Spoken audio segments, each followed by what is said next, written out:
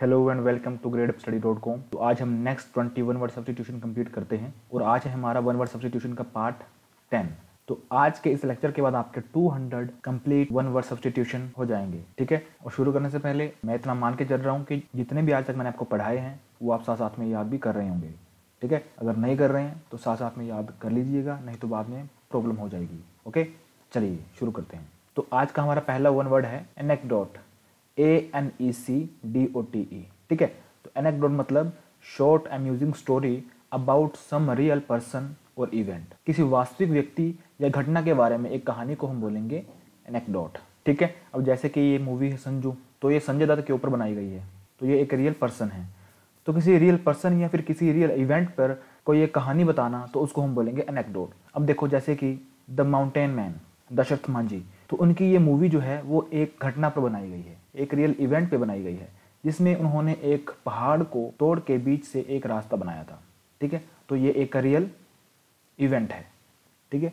तो short amusing story about some real person और event इसको हम बोलेंगे एनेक्डोट ओके चलिए नेक्स्ट चलते हैं। नेक्स्ट है अनोनिमस अनोनिमस मतलब ए बुक और a work of art whose author is not known एक किताब या एक कला जिसके लेखक का पता नहीं है, उसको हम बोलेंगे अनोनिमस अनोनिमस का मतलब होता है गुमनाम। क्या मतलब होता है? गुमनाम। जिसका नाम रिवील नहीं किया जाता है, ठीक है? तो उसको हम बोलेंगे अनोनिमस चलिए नेक्स्ट चलते हैं। नेक्स्ट है antagonist one that oppose others एक जो दूसरे का विरोध करता है, उसको हम बोलेंगे एंटेगोनिस्ट अब देखो, इसको आप इस तरह से समझ सकते हैं, जैसे कि ये है हमारी लोकसभा, ठीक है? यहाँ पे बैठे हुए हैं बीजेपी वाले, यहाँ पे बैठे हुए कांग्रेस वाले, इंडियन नेशनल।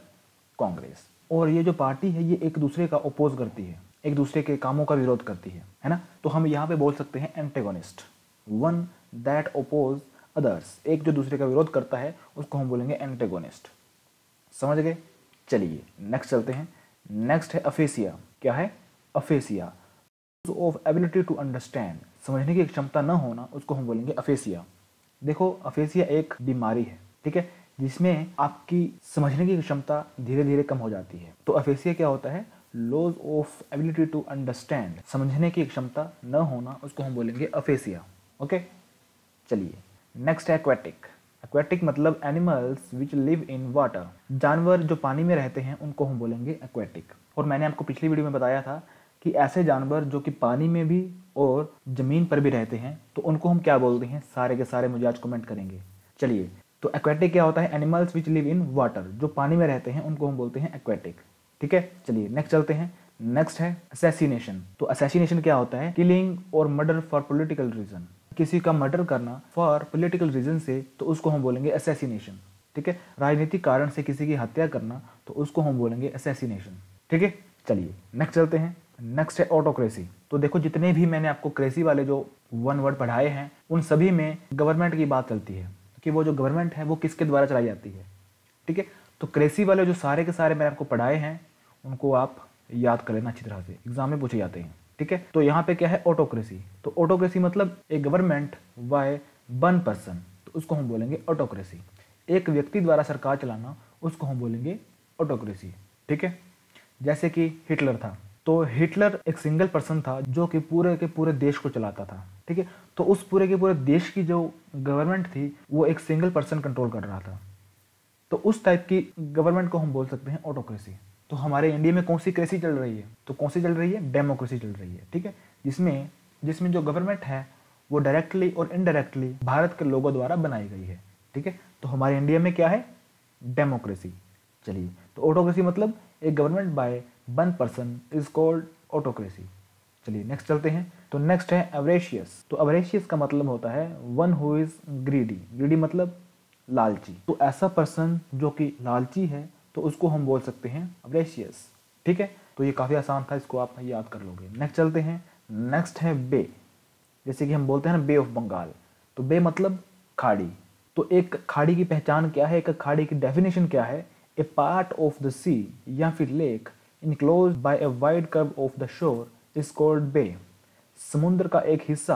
अब देखो ये सारा का सारा समुद्र है, ठीक है? ये सारा का सारा देखो, समुद्र ही है, ठीक है? तो समुद्र का एक हिस्सा जो किनारे से घिरा हुआ है, अब देखो ये एक किनारा है तो ये सारा का सारा घिरा हुआ है, ठीक है? घिरा हुआ है ना? कर्व बन रही है ना? तो ये एक पहचान होती है किसी खाड़ी की या फिर बे की, ठीक है? तो बे का मतलब a part of the sea या फिर lake enclose by a wide curve of the shore ठीक है? तो ये आपको याद रखना है। याद क्या रखना है? यहाँ से ही ये क्लियर हो जा रहा है। ठीक है? तो आपको याद रहेगा। चलिए नेक्स्ट चलते हैं। नेक्स्ट है बीच तो बीच सभी को पता ही होगा। A stretch of land stones along the edge of the sea या फिर लेक ठीक है? तो ये बताने की ज़रूरत नहीं है। आप यहाँ पे देख सकते हैं। तो बीच आपको पता होगा। चलिए नेक्स्ट चलते हैं। नेक्स्ट है बेलिकोज तो बेलिकोज मतलब a person who is found of fighting एक ऐसा व्यक्ति जो लड़ाई का शौकीन हो, उसको हम बोलेंगे बेलिकोज ठीक है? एक ऐसा व्यक्ति जिसको लड़ाई करने में मज़ा आता है। बेशक तीन चार थप्पड़ खा के आता हो। ठीक है? तो ऐसे व्यक्ति को हम बोल सकते हैं बेलिकोज चलिए नेक्स्ट चलते हैं। नेक्स्ट है बेलिजरेंट तो बेलिजरेंट मतलब इंगेज इन वार या फिर फाइट जो युद्ध या लड़ाई में व्यस्त रहता है, उसको हम बोलेंगे बेलिजरेंट ओके चलिए नेक्स्ट चलते हैं। नेक्स्ट है बेनिफेक्टर क्या है? Benefactor one who gives financial help to a school और हॉस्पिटल इसको हम बोलेंगे बेनिफेक्टर तो हिंदी में हम बोल सकते हैं कि जो एक स्कूल या फिर अस्पताल आदि को वित्तीय मदद करता है उसको हम बोलेंगे बेनिफेक्टर देखो हमारी दुनिया में काफ़ी सारे ऐसे लोग मौजूद हैं जो इस तरह की हेल्प करते हैं ठीक है? जैसे कि सर रतन टाटा तो ये काफ, काफ़ी हेल्प करते हैं काफ़ी दान देते हैं। तो ये आपके लिए एक एग्ज़ाम्पल है ठीक है? बेनिफेक्टर मतलब one who gives financial help to school और हॉस्पिटल तो इनके रिलेटेड मैं आपको एक स्टोरी सुनाता हूँ कि जब मुंबई हमला हुआ था और ताज होटल को नुकसान पहुँचाया गया था तो उस टाइम पे जितना भी नुकसान हुआ था, जो कि इनकी कंपनी में काम करते थे, ठीक है? तो इन्होंने हर एक व्यक्ति को फाइनेंशियली हेल्प की और आजीवन सैलरी उनके परिवार वालों को दी और साथ में एक और एक डॉक्टर लाइफ टाइम के लिए दिया था और उनके बच्चों की एजुकेशन मैरिज में जो खर्चा आएगा, सारा का सारा रतन टाटा जी उठाएँगे। तो इस तरह से इन्होंने हेल्प की थी। तो ऐसे लोगों को हम बोल सकते हैं ये एक बेनिफिक्टर है। ठीक है? One who gives financial help to a school और हॉस्पिटल ओके चलिए नेक्स्ट चलते हैं। नेक्स्ट है मोनोगैमी अब देखो गैमी का मतलब क्या होता है? जहाँ पर भी आपको गैमी दिख जाए तो इसका सीधा मतलब होता है मैरिज ठीक है? तो मोनोगैमी मोनो मतलब सिंगल मोनो का मतलब होता है सिंगल तो married to one person at a time तो इसको हम बोलेंगे मोनोगैमी एक समय में एक व्यक्ति से शादी करना, उसको हम बोलेंगे मोनोगैमी तो यहाँ से ही ये क्लियर हो जा रहा है। ओके चलिए। नेक्स्ट चलते हैं। नेक्स्ट है बाय गैमी फिर से गैमी मतलब शादी की बात होगी। वो यहाँ पे लगा गया है बाय बाय मतलब दो, ठीक है? तो one who marriage a second wife और हस्बैंड तो उसको हम बोलेंगे बायगैमी इसका सीधा मतलब है कि जो दूसरी शादी करता है, उसको हम बोलेंगे bigamy okay okay then next चलते हैं। नेक्स्ट है पोलीगैमी फिर से गैमी आ गया। अब पोलीगैमी का मतलब क्या होता है? A person who has more than one wife या फिर husband at the same time उसको हम बोलेंगे पोलीगैमी तो कंफ्यूज नहीं होना है, अगर लिखा होगा बायगैमी बायगैमी मतलब दो। तो जिसकी दो शादियाँ हुई हो, ठीक है? और यहाँ पे क्या है? पोलीगैमी जिसकी एक से अधिक, ठीक है? दो और एक से अधिक में डिफरेंस है। एक से अधिक मतलब पाँच भी हो सकती है छः भी हो सकती है, दस भी हो सकती है या फिर सौ भी हो सकती है। लेकिन बाय में आपकी सिर्फ़ और सिर्फ़ दो ही होंगी, ठीक है? तो ये आपको डिफरेंस याद रखना है। तो पोलीगैमी मतलब एक व्यक्ति जिसके पास एक ही समय में एक से अधिक पत्नी या फिर पति है, उसको हम बोलेंगे पोलीगैमी ओके? चलिए नेक्स्ट चलते हैं। नेक्स्ट है एंडोगैमी एंडोगैमी एंडो मतलब होता है अंदर। अब किसके अंदर? अपनी कम्युनिटी के अंदर। ठीक है? तो यहाँ से ही ये क्लियर हो जा रहा है। तो एंडोगैमी मतलब marrying only within the limit of a local community तो इसको हम बोलेंगे एंडोगैमी एक स्थानीय समुदाय की सीमा के भीतर ही शादी करना, इसको हम बोलेंगे एंडोगैमी ओके नेक्स्ट चलते हैं। नेक्स्ट है एक्सो एक्सो मतलब बाहर। और गैमी तो इसका मतलब क्या हुआ? मैरिंग आउटसाइड ए कम्युनिटी तो एक समुदाय के बाहर शादी करना, उसको हम बोलेंगे एक्सोगैमी ठीक है? तो यहाँ पे आपको कोई भी कंफ्यूजन नहीं होनी चाहिए। एंडोगैमी मतलब जो अपनी कम्युनिटी में शादी करता है और एक्सोगैमी मतलब जो अपनी कम्युनिटी से बाहर शादी करता है तो उसको हम बोलेंगे एक्सोगैमी ठीक है? चलिए नेक्स्ट चलते हैं। नेक्स्ट है पोलीग्लोट तो पोलीग्लोट मतलब नोइंग और यूजिंग सेवरल लैंग्वेजेस कई भाषाओं को जानना या उसके प्रयोग करने वाले को हम बोलेंगे पोलीग्लोट ठीक है? चलिए नेक्स्ट चलते हैं। तो आज का हमारा लास्ट वन वर्ड हम करेंगे तो ये क्या है? पोलियंट्री तो पोलियंट्री मतलब woman has more than one husband तो इसको हम बोलेंगे पोलियंट्री देखो पोलीगैमी और पोलियंट्री में डिफरेंस क्या है? ये मैं आपको बताता हूँ. गैमी का मतलब होता है शादी, ठीक है? शादी में बात होगी वाइफ और हस्बैंड की, ठीक है? लेकिन पोलियंड्री में सिर्फ़ और सिर्फ़ आपकी बात होगी महिला के बारे में, ठीक है? तो पोलिकेमी मतलब जिसकी एक ही समय में एक से ज़्यादा शादी हुई हो। लेकिन पोलियंड्री मतलब ऐसी वुमेन जिसका जिसका एक ही समय में एक से ज़्यादा हस्बैंड हो। उसको हम बोलेंगे पोली एंड्री तो दोनों में डिफरेंस यही है। यहाँ पे क्या था? यहाँ पे आपका गैमी था और यहाँ पे एंड्री है। गैमी मतलब शादी शादी में वाइफ और हस्बैंड दोनों होते हैं।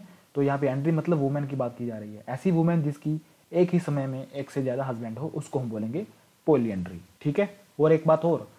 बाय का मतलब होता है टू ठीक है? मोनो का मतलब होता है सिंगल, वन, ठीक है? और पोली का मतलब होता है एक से ज़्यादा। ठीक है?